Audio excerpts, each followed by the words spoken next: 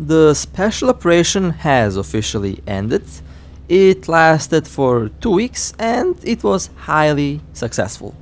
Now, a little fun fact uh, during our special operation, I actually haven't docked in a station for over seven days, so I actually had to log out my ship in space.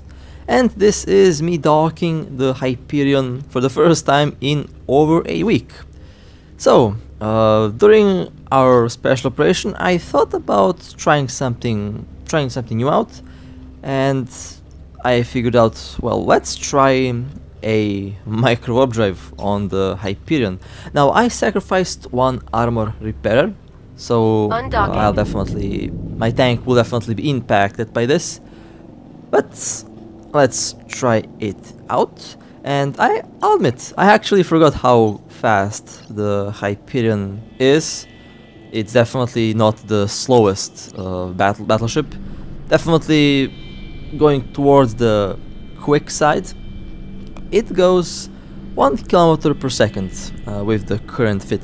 Now keep in mind, I don't have any auxiliary thruster on the Hyperion. Basically, this ship is a full tank ship and for a full tank ship to go over a one over one kilometer per second that's that's actually really good and I cannot complain about the speed on this ship. Docking request accepted. So that means in the future I might use a afterburner or micro warp drive on the Hyperion. Should work really well with the blasters to quickly go in range. Now let me just return the fourth armor repairer just in case if we have another special operation coming up soon. Okay, now the Hyperion is back in its original shape. Speaking about tank, I'm going to be getting the nanocore for the ship very soon.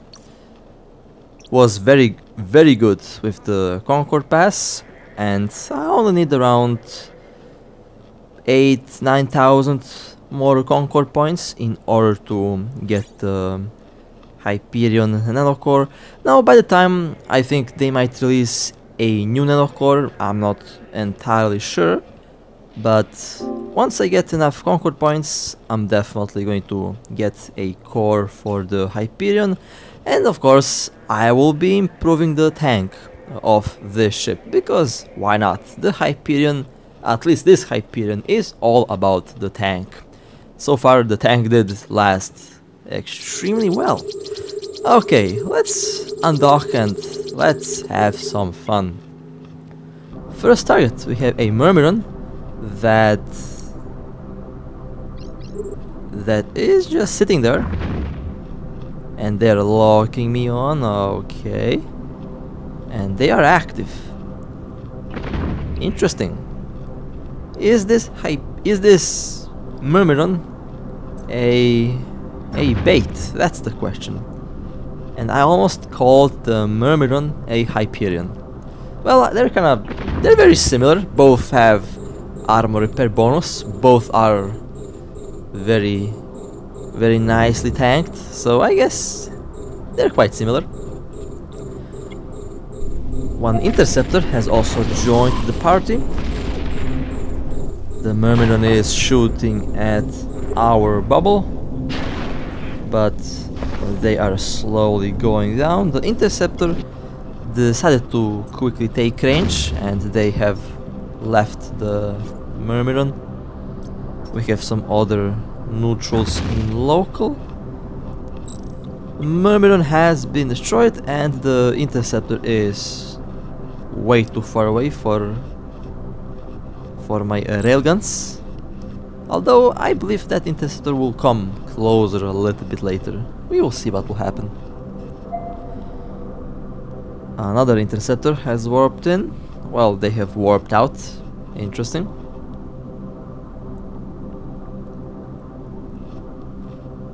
My maximum range with the rifled railguns is around 120 kilometers. That's the that's the longest range at which I can hit targets. Above that, it just misses. But small targets that are not moving, I can hit without a problem. Alright, well, looks like we are going to have some company. There is 13 in local. And that one, Sunesis just popped in. Let's shoot it down. Okay, the destroyer has been destroyed. We are waiting for the first ship to land. This should be fun. Still nothing on... Oh! We have a Vindicator. Nice. This is about to be fun. There is 14 in local. Out of 14, 4 are part of the fleet. The rest are all neutral. Okay, let's go and point the Vindicator. A Stabber has warped in. The Vindicator slowly... Well, the Vindicator lost shield, okay. Now they are into armor, they're taking big hits. They are pointed. They are in the bubble. Let me park my ship right here. Okay.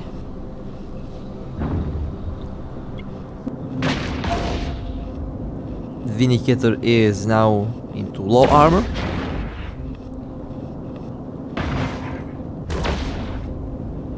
They are now into hull. Looks like they use armor plates. And the Vindicator has been destroyed. Nice. So you might be wondering, where is the rest of the fleet? Well, the rest of the fleet stopped their ships from warping because we made a little mistake in timing. But that's okay, we still got that one faction battleship. Next target, we have a Phantasm. Phantasm using a afterburner. They are quick ships. They are still within range, however. I have range up until 120 kilometers, so I should be hitting the target without a problem until that range. They're now at 55 kilometers. The shield of the Phantasm is slowly going down.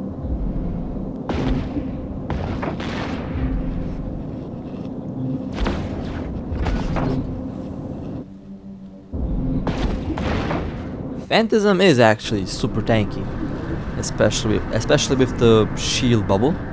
Although it's still quite easy to shoot one down. Phantasm will be in low shield very soon. Not quite sure if they have a large shield booster. I wouldn't say that they have a large shield booster because I don't see the... Oh well, that did not last long. The Phantasm has been destroyed. Nice. Did not see a large shield booster on that Phantasm. Usually the Phantasm does use a large shield booster, one or two large shield boosters. They work really well on that ship. My first faction cruiser was a Phantasm, and my first faction cruiser loss was also a Phantasm. Kinda fun. So, uh, looks like we have poked the beehive and we have one, two, three, four, five battleships. There is 23 in local. Okay. There is also two battle cruisers and a cruiser. The cruiser is one Ashimmu. And there is one Dramiel that is lurking around. Now that fleet is a little bit, a little bit too heavy, honestly. We have only, we have only like four ships. Perfect opportunity to, um, to do another tank test. on on the Hyperion. They also have a Nightmare, so that Nightmare might be a little problem, because the Nightmare will have the shield bubble and the Nightmare will keep the fleet safe. There is the Dramiel uh, going after my Hyperion. And we have two snipers, or that might be one Ashimmu below me. That's Ashimmu below me, okay.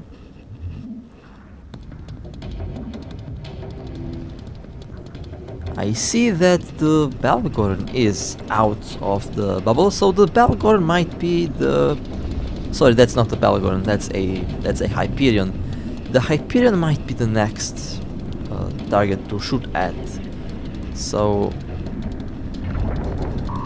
But looks like the Nightmare is the primary target.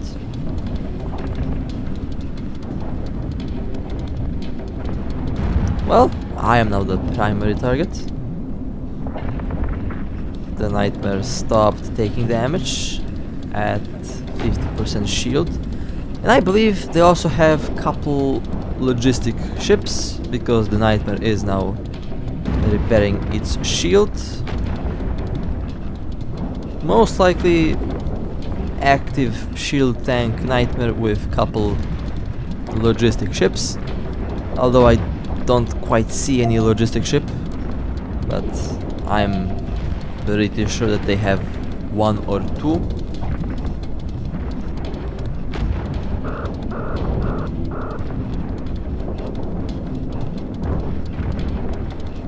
Guess it will be time to jump out soon because Autopilot Yep. engaged. my hull got scratched and that's that means it's time to go. That's a little bit too much DPS even for this Hyperion. It should improve once I get the nanocore for this ship. Should be a noticeable improvement in tank with the nanocore. But still, it held out really well against a whole CTA fleet. Which is still very impressive.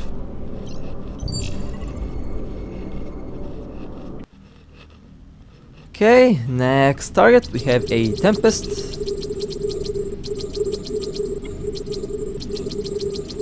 Interesting. I think this Tempest is a bait Tempest, we will see. This Tempest also has a nanocore. And it is a heavy shield tank, nice. They are approaching the gate. I think they're approaching the gate. They are now shooting at the bubble. They have a very good shield.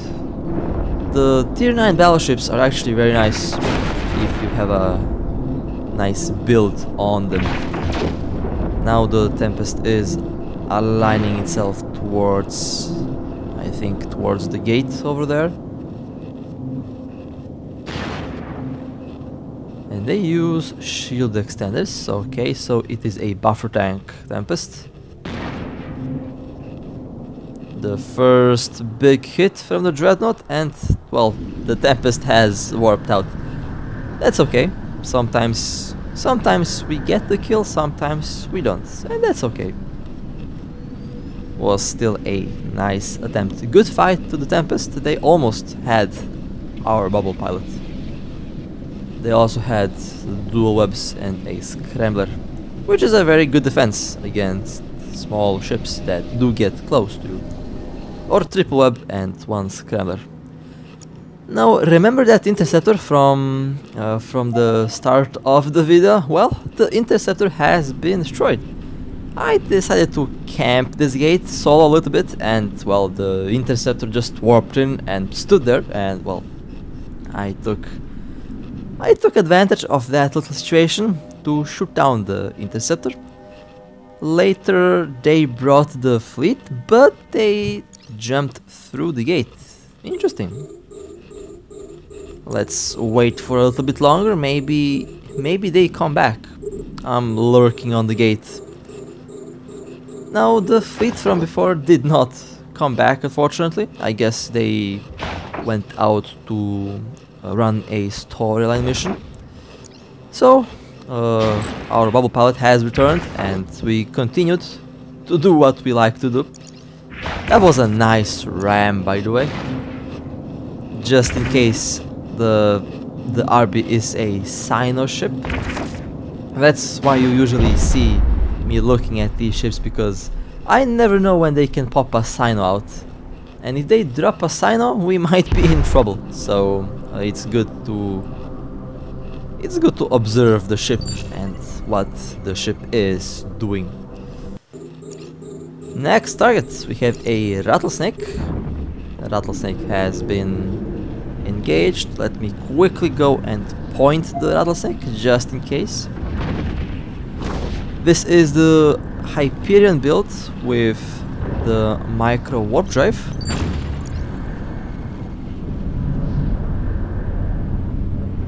The micro warp drive on this ship runs really well. Surprisingly well. I actually did forget how fast this ship is. Rattlesnake in hole and the rattlesnake has been destroyed. Very nice. Another faction battleship goes down today. Excellent, excellent work. And some decent loot as well. Next target we have a Abaddon. Another another tanky ship. This Abaddon has a lot of armor, so most likely a passive tank Abaddon, which still runs really well. Uh, we did do some tests and the armor tank, armor plate tank Abaddon does end up with a draw if you fight uh, with a active tank Hyperion. Both ships lose capacitor at the same time and both ships end up in low armor at the same time. So that's one very interesting little, uh, very interesting little thing about these two ships. And that was also a nice kill. Next target we have a Armageddon and there is a Covertops ship lurking around. Well, it there was a Covertop ship. They warped away. Armageddon is now into now into hull. Doesn't look like they have a nanocore. However, it looks like they have a skin on the ship. Not 100% sure. In any case, the Armageddon has been destroyed. Very nice. That means we can go towards the next target. The next target, we have a Daredevil. And the Daredevil is active. They are burning away from the gate. Let me try to approach. Maybe I can get the transversal velocity low enough to hit the ship. Although that might be difficult, the Daredevil is a fast little ship. Very hard to hit fast moving targets with the with the railguns because they have very poor tracking. So my guess is to try and lower the transversal velocity and I have time to do that until the Daredevil is 120 kilometers away from the Hyperion because after that range I'm not going to be able to do any damage. Well, I scratched the shield of the Daredevil, so I guess I should be returning to the gate now because already going to be too far away. Well, I, think our bubble pilots will deal with that Daredevil without a problem. Although I could technically go to the gate and then warp towards my corp mate and then open fire on the Daredevil. That also works, I guess. But I don't want to steal any kills, so let's just Let's just wait out and see what happens. Just in case if my friend needs help, I will I will go, but it looks like the the Daredevil is going down. We have a small local spike, although it doesn't feel like we are in trouble, and the Daredevil has been destroyed. There is one Oracle, but the Oracle will warp away because the bubble is 150 kilometers away from the gate. That's okay. We did manage to shoot down the faction frigate. Next target we have a Nereus 2. Well, uh, let's cross our fingers and let's hope for a Citadel drop. Would be nice if we would get a Citadel. Would be nice if we would get a Citadel drop. Let's take a look. Oh, 2 billion and well, we got some capital siege arrays. Well, okay, not bad. I'm definitely not going to complain about that. That means it's time to go get the transport ship and let's loot that wreck. Next target we have one Oracle. Oracle seems to be using a micro warp drive and they are trying to burn away from the gate. Now the thing is, the micro drive will increase the signature radius and well, uh, the velocity on the Oracle is similar to the velocity of my Hyperion. All that combined, it makes it easy for my railguns to track and hit targets, and the Oracle has been destroyed. Very nice kill. Let's go towards the next one.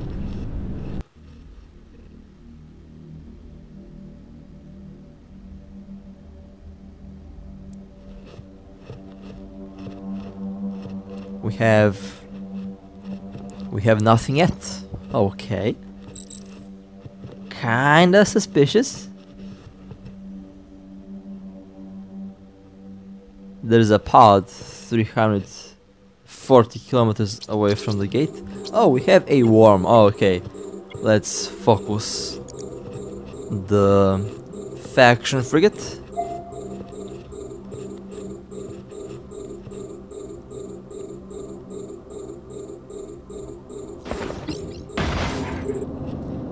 The railguns at this range will most likely miss, but that's okay. If I had the mic warp drive, then they would hit, because I would quickly increase the distance. And that was a nice kill. The worm got basically popped in couple hits. Next target we have a hurricane Let's quickly focus fire. Most ships that fly here might be bait ships. At least that's how uh, how I have experience with that.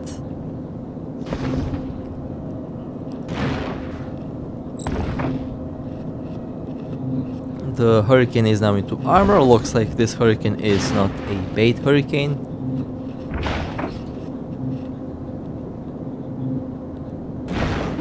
They are now into hull and the hurricane has been destroyed. Very nice. Now usually I would say let's wait out the criminal timer but in nullsec there is no such thing as a criminal timer. You only get the aggression timer. So that's why nullsec is so much fun. You can do whatever you like and you don't have to worry about any timers or gate guns or you know things like that. Next target we have a Covetor 2. Now this Covetor has a nanocore and these things can be quite expensive. So expensive boats, yep, going to going to be uh, a very nice kill. Okay, well that's one way how to do the Concord Pass missions. You know, ever since the PvP Concord Pass missions were released. Our next target, we have a Cynabal. This Cynabal has the tungsten nanocore. I actually like that Nanocore a lot on the Cynabal. I haven't been flying that ship in over six or seven months. It's been a while since I since I did fly the Cynabal. I think it was actually more than that, eight or nine months. Ever since I got the Orthrus, I haven't really been flying the Cynabal that often. However, that will change. Uh, that ship has some very some very interesting fits that I kinda want to try out. Next target we have another Daredevil. A lot of faction frigates have been destroyed today. This Daredevil has a very nice looking nanocore. They have been webbed. Almost. Almost got the Daredevil in one hit. And the Daredevil has been destroyed very nice. Now let's go towards the next target. We have a Hurricane Logistic. And this Hurricane Logistic trying to burn out from the bubble, but that's not going to work. My battery at 20%, well, good that good that I have seen that on time. The logistic hurricane in low and they have been destroyed. Very nice. A very nice logistic battle cruiser. These ships can be good bait ships. So always be careful around logistic ships in nullsec, especially if they are solo. Next target we have a Cyclone. Well, this is going to be a quick one. Cyclone got destroyed very quickly. Very nice. Cyclone can also be one very cheap and very good ship. Might fly one at one point. Next target, Nereus High Mobility. These ships never dropped anything good uh, in my experience and I guess this is not going to be any different. Only 18 million. And our final targets for today we have one Mauler and we have one Vexor Navy. Well the primary target will be the Mauler of course because it's it's red. And red targets have a priority. The Mauler lost shield. They are now in hull Okay. Mother has been destroyed. Next target is the Vexor Navy.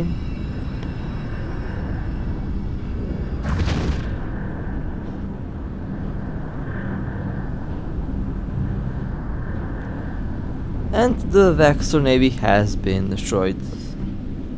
Very nice. For a second I thought that it might be a small fleet that was headed towards our direction. So, uh, as as you could see, the special operation was quite successful.